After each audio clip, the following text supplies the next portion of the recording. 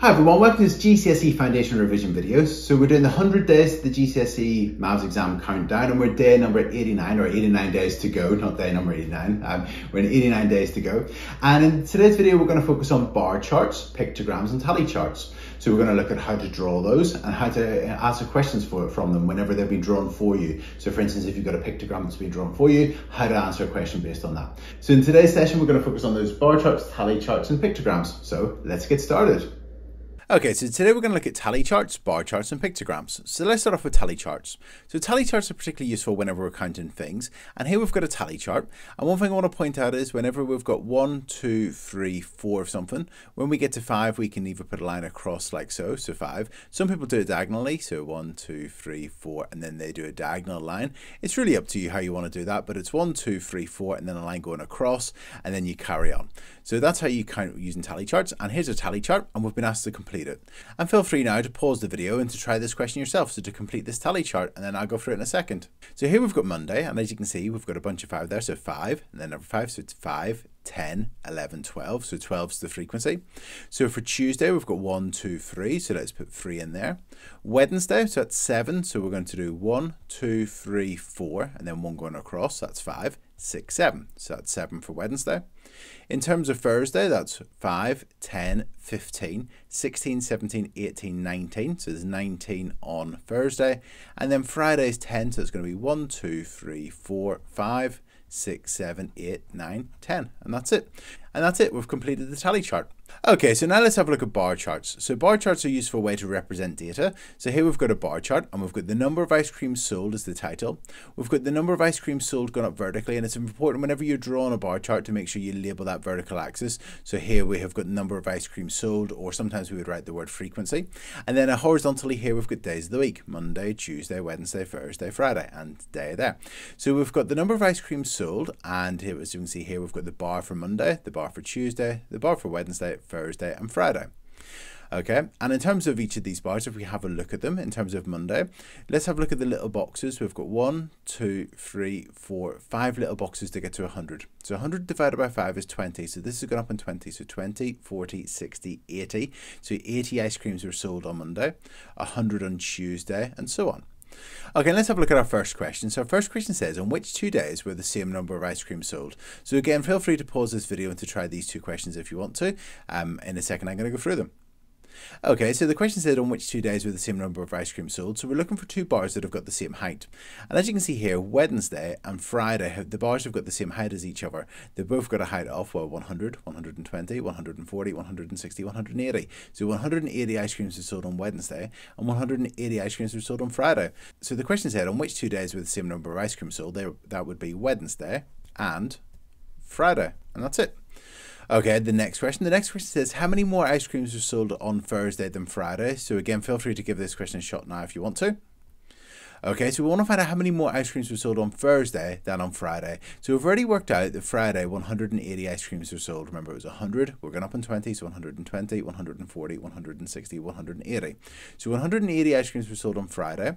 In terms of Thursday, well, if we go up to Thursday, we've got 300 and then 320, 340. So 340 ice creams were sold on Thursday. And we want to work out how many more were sold on Thursday than Friday. So we're just going to take this away. We're going to work out the difference between them. So we're going to do 300 140, subtract 180 and see what we get. So 0 take away 0 is 0. 4 take away 8, let's borrow, so it's now a 2 and a 14. 14 take away 8 is 6, and 2 take away 1 is 1. So 160 more ice creams were sold on Thursday than on Friday, and that's it. Okay, so we've had a look at bar charts. Now let's have a look at dual bar charts. So dual bar charts are quite useful whenever perhaps we've got two different years. So here's a dual bar chart for the number of goals scored in the cup by three ice hockey teams last year and this year. So we've got the Flames last year in the cup scored six goals, and this year in the cup in yellow they scored 14 goals, and so on. So dual bar charts are quite useful whenever you've got uh, you're comparing different perhaps categories, but then you've got maybe last year and this year, or you've got things like that. So let's have a look at this question. And again, feel free to pause the video now to try this question yourself if you want to. So the question says uh, we've got a dual bar chart that shows the number of goals scored in the cup by three ice hockey teams. So we've got three ice hockey teams: the Flames, the Steelers, and the Blaze. And we've got last year in blue, and we've got this year in yellow. And so, for instance, the Flames scored six last year, and this year they've scored fourteen. The Steelers scored seven last year and seven this year, and so on. So the question then says, Catherine says that the three teams scored more goals in the cup last year than this year. Is she correct? So she's saying that last year they scored more goals than this year. So what I'm going to do is I'm going to work out the number of goals scored for last year and this year for each of the teams. So the Flames, that's six last year, and this year 14. Last year for the Steelers is 7, and this year for the Steelers is 7. And the Blaze last year, well, that's 11. And then the Blaze this year, well, we've got here, that's going to be equal to 4. So they scored 4 this year. So now let's work out and see how many goals were scored last year and how many goals were scored this year. So in terms of last year, so last year. So last year, the Flames scored 6, plus the Steelers scored 7, and the Blaze scored 11. So let's add those together and see what we get. So 6 plus 7 is equal to 13, plus 11 is equal to 24. So last year, 24 goals were scored. Now let's have a look at this year. So this year, the Flames scored 14, the Steelers scored 7, and the Blaze scored 4. So let's add those together and see what we get. So 14 plus 7 is 21, plus 4 is 25. So as you can see, this year 25 goals were scored, and last year 24 goals were scored. So is she correct that more goals were scored last year than this year? No, she's not. No, she is not. And that's it.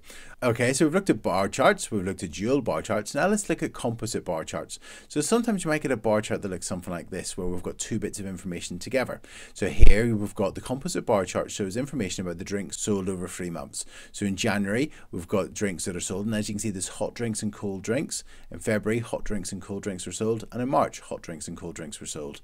And in pink, we've got the hot drinks, and in grey, we've got the cold drinks. So for instance, if we look here at January, in terms of the hot drinks, they're quite easy because they start at zero, so we can go up and we can just see how many hot drinks were sold. So the hot drinks, we've got 450 because in between 400 and 500, so there's 450 hot drinks sold in January. In terms of the cold drinks, we've got to be careful here because we're up to 450 and we're going up from 450 to 600. So if we do 600 take away 450, that's equal to 150, 150. Or another way to do that is to look at the little boxes and we've gone from 0 to 100, so we've gone 50, 100. So each of the little boxes is 50. So we've then if we start here, 50, 100, 150. So that's another way to do it. Okay, let's have a look at the questions now. So we've got two questions and feel free to press pause and try these questions yourself. So the question says, in which two months were the same number of hot drinks sold? So let's have a look at the bars and see, let's have a look at the hot drinks, which is the pink bars. So in January and February, you can see they've got the same number of hot drinks sold in January and February. There's 450 hot drinks sold in January and 450 hot drinks sold in February. So the question said on which two months were the same number of hot drinks sold? That's going to be January and February. So January, January and February, and hopefully you got that correct. And then the next question says, how many cold drinks were sold in March? So let's have a look at March. We've got hot drinks down here, so we want to look at the cold drinks. Now we've got two different ways we can do this. One way was to remember that each of the little boxes was worth 50. So if we start here, we've got 50, 100, 150, 200, 250, 300, 350, 400, 450. So there's 450 cold drinks sold in March. So let's write that down, 450. Another way to do it instead, instead of counting the little boxes, was to look at the total, which was equal to 750. 750 is the total. If we then look at the hot drinks, which was, if we go to here, the hot drinks, which is 300. And if we take 300 away from 750, that leaves you with 450 cold drinks. Or you could have counted the little boxes, and that's it. Okay, so we've looked at tally charts and we've looked at bar charts. Now let's have a look at pictograms. So again, pictograms are another way to represent information. And here we've got a pictogram that represents information about the number of hours of sunshine in four cities in a day in June. So on one particular day in June, in Paris, there's this amount of sunshine in Cork and so on. So the four cities are Paris, Cork, London and Swansea. And we've got this key. And this key says that each circle represents four hours. So if we look at Cork here, Cork would have four, eight, 12 hours of sunshine and so on. And the question says, how many more hours of sunshine did Swansea have than London? So feel free to pause the video now and to give this question a try. Now, if I was in this in a normal exam question, I would actually just focus on London and Swansea and to work that out. But I'm just going to show you a bit more about how pictograms work here.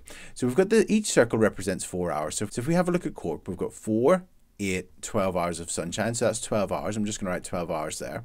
So in terms of Paris, we've got four, 8 and then we've got half a circle. So it's going to be half of 4 hours which is 2 hours. So this is 2 hours. So we've got 4 8 and then another 2 is 10 hours. So that means that Paris would be 10 hours of sunshine And then in terms of Swansea and London, uh, we've got a quarter circle and a free quarter circle. The quarter circle is going to be worth one hour because that's a quarter of the four and a quarter of four is one, so it's going to be one hour. And this three quarter circles, that's going to be three hours because obviously it's going to be three quarters of four, which is three. So in terms of London, we've got four plus another three would be seven hours of sunshine. And in terms of Swansea, that's four, eight, and then another hour would be nine hours. So the question says, how many more hours of sunshine did Swansea have than London? That'd be nine, subtract seven, and that's equal to two. So it'd have two more hours of sunshine. Now, just to say that in an exam question, I wouldn't have worked out the core comparison this part because I didn't need to, but I just want to show you how the pictograms work, and that's it. So hopefully you got that correct, that Swansea has two more hours of sunshine than London. And that's it. So we've gone through bar charts, tally charts, and pictograms. And they're very important topics because they're ones that, you know, hopefully you're going to get full marks on, particularly if you want to do well in your GCSE foundation. Your bar charts, tally charts, and pictogram questions should be hopefully topics where you can, you know, get some safe marks for those. Remembering stuff like the key in terms of the pictogram, making sure you know what each one of the symbols is worth and so on. So I hope you find this video useful. In the description below, I've put a link to the practice questions. Again, these types of questions, it might be quite useful to print those because then you can then do them on the sheet if you can't print them, uh, because then you can do them on the sheet and just save you a bit of time doing those. So I really hope you found this video useful. If you have found it useful, please like and please subscribe to the YouTube channel. Also, if you've been finding these videos useful, perhaps tell your teacher about them and let them know just about the videos because perhaps then they can share with other people in the class and um, you know you can help them out and also get the video more views as well. So thanks so much and I'll see you tomorrow at three o'clock. Okay, cheers, bye.